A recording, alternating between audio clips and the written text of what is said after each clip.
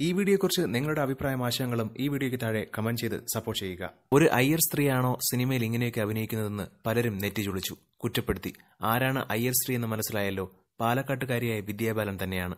ഇത്തരം ചോദ്യങ്ങൾ ചോദിക്കാൻ തുടങ്ങിയത് സിൽക്കിന്റെ ജീവിതം ഡേട്ടി പിക്ചർ എന്ന പേരിൽ സിനിമയാക്കിയപ്പോൾ അതിൽ സിൽക്ക് സ്മിതയായി ആവശ്യത്തിലേറെ സെക്സ് രംഗങ്ങളിൽ അഭിനയിച്ചപ്പോഴാണ്. എന്നാൽ അതൊന്നും വിദ്യാബാലൻ എന്ന ബോൾഡായ നടിക്ക് പ്രശ്നമായിരുന്നില്ല. ഡേട്ടി പിക്ചറിലെ അഭിനയത്തിന് ഇന്ത്യയിലെ ഏറ്റവും നല്ല നടിക്കുള്ള അവാർഡ് നേടിയപ്പോഴാണ് പലർക്കും അഭിനയിക്കാൻ ആഗ്രഹം തോന്നിയത്. എന്നിരുന്നാലും ഒരു അയ്യർ മലയാളി സ്ത്രീ ഇത്രയ്ക്കും അഭിനയിക്കേണ്ടിയിരുന്നില്ല എന്ന അഭിപ്രായത്തിൽ തന്നെയാണ് പലരും ഇപ്പോഴും ഉറച്ചു നിൽക്കുന്നത്. എന്നാൽ പുതിയ വിവാദമായി വിദ്യാബാലൻ വന്നിരിക്കുകയാണിപ്പോൾ. കഥയ്ക്ക് അനുയോജ്യമായി ഏത് റോളിലായാലും അഭിനയിക്കുമെന്നും അഭിനയവും ജീവിതവും ഒന്നായി കാണരുതെന്നും കൂട്ടത്തിൽ വിദ്യാബാലൻ പറയുകയുണ്ടായി. സാധാരണ ആണും പെണ്ണും തമ്മിലാണ് ലിപ് ലോക്ക് ചുംബനം ചിത്രീകരിക്കാറുള്ളത്. ഇത്തരം രംഗങ്ങളിൽ അഭിനയിക്കാൻ എല്ലാവരെയും കിട്ടിയെന്ന് വരില്ല. എന്നാൽ വിദ്യാബാലന് ഇതിലൊന്നും അഭിപ്രായ വ്യത്യാസമില്ല.